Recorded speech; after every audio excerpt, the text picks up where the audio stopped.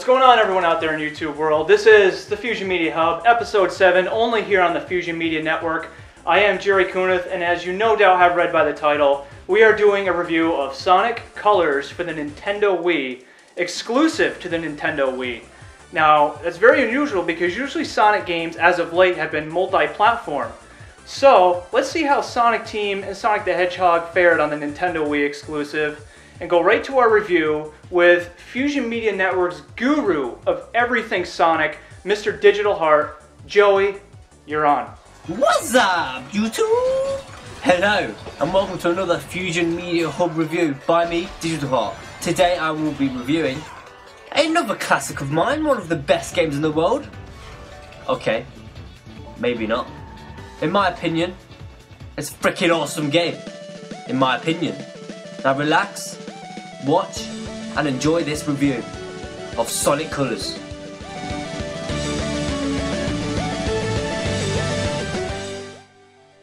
Being a huge ass Sonic fan, even I know that Sonic Colors is Sega's way of waving the white flag. After a decade of expanding the scope of the series with gimmicks, cutscenes, and basically an over expanding cast of characters, Sonic Team has finally ducked down and gave us every Sonic what every Sonic fan needs and wants. And as it turns out, it's not a bad game either. The Hedgehog's latest outing is as pure as platforming gaming experiences can get, and one that gives me flashbacks to 2007's Mario Galaxy. It may seem silly to compare these uh, this Sonic game to like one of the biggest games of the century, but I am that impressed and with the creativity and energy that went into the design of Sonic Colors. The main gimmick of Sonic Colors is the tiny wisps that replace the tiny critters in which Sonic typically rescues from Dr. Eggman. As with many, many games of Mario, these aliens just grant Sonic a raft of powers which can be used to navigate through a variety of obstacles in his path. The nature of Sonic demands that these powers are quick, sharp, and literally one-time use abilities. With these powers, Sonic can become a living laser, a rocket ship, or literally anything that, uh, well, well, whatever the moment is, it can be it. The new powers have allowed Sonic designers to be more creative with their levels, and they really don't shrink from that challenge. While Sonic Colors is a 3D game, I spent better half than my time working from a 2D perspective.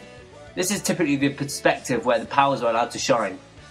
And the 3D stages are built as good as the stages that, are, that were in Sonic Adventure 2, which is by far one of the best Sonic games out there.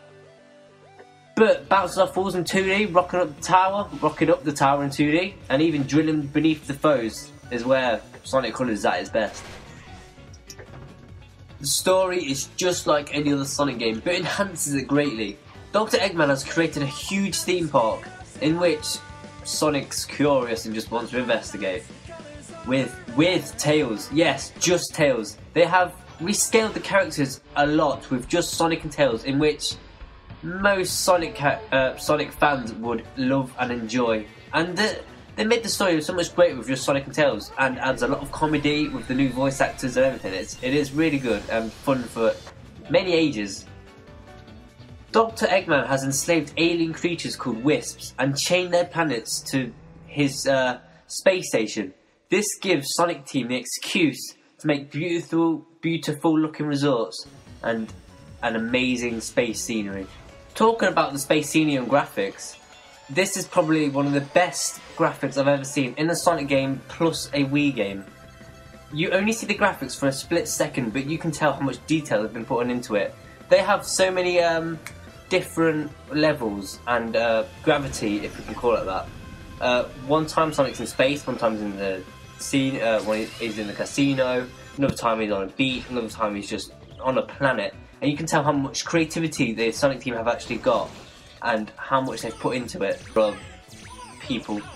Thanks to added dimensions brought to the new powers, slimmed down presentation, amazing graphics, story, and voice acting, Sonic Colors is a fine example of a modern platforming title, and probably one of the best Sonic games out there. Personally, Sega has put out many Sonic games that are terrible, i.e. Sonic the Hedgehog 6, Sonic and the Secret Rings, but some of them were not too shabby, just like Sonic and All-Star Racing, Sonic 4.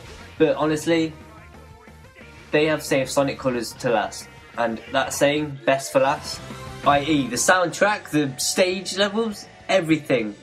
Even destroying robots sounds good, so I'm going to give this a 9. Graphics, I've already said, they are amazing, so I'll give that uh, 8. And gameplay, probably one of the best gameplays of Sonic. It's basically Sonic Unleashed without the Werehog, so another 8. Overall, I would give this amazing Sonic game a 8.5.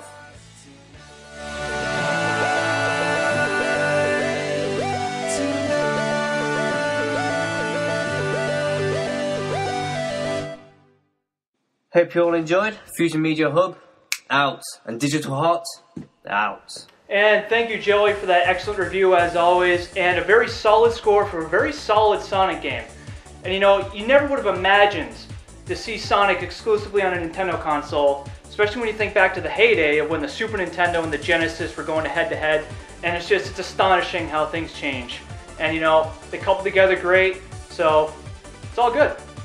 And before I wrap it up for this episode, I would like to mention that we have a new network member here in the FMN, DC Kingdom 09. Annotation, check out his channel, subscribe to him. He is going to be doing some Let's Plays for the network. It is going to be spectacular.